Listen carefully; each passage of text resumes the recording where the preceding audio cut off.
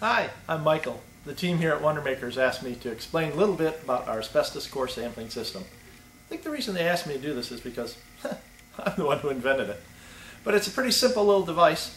Uh, really, it's a combination of what we call the handle here and the cutter sleeves. And in this case, the cutter sleeve is uh, inside this uh, plastic vial with an airtight cap.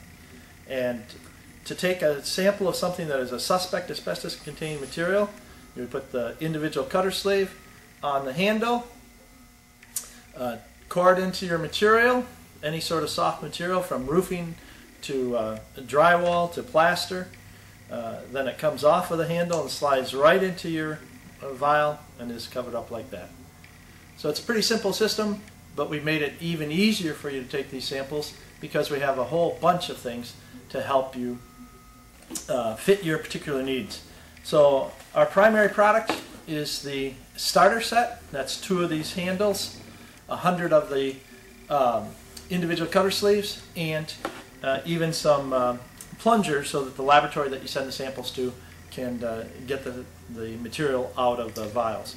We have this neat uh, fanny pack, which uh, includes a smaller number of the cutter sleeves, but also has some that are double long.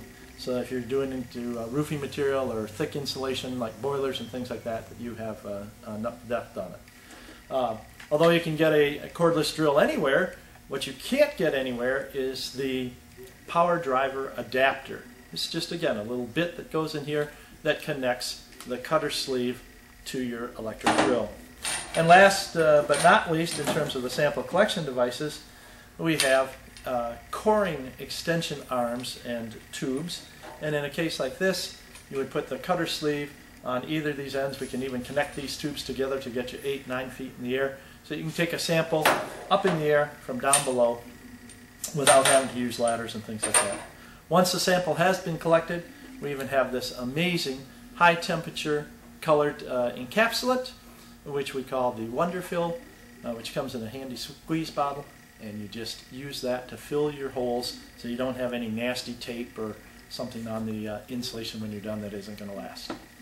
Well, that's a brief introduction to all these different products. I hope that you'll uh, come back and join us for the next video where we talk a little bit about how to actually take a sample safely. Thank you.